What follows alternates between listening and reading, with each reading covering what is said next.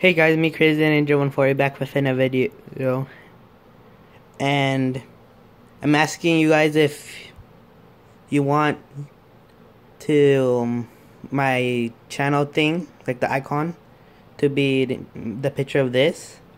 So I change it.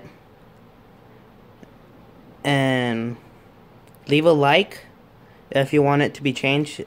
Leave a dislike if you don't want it to be changed.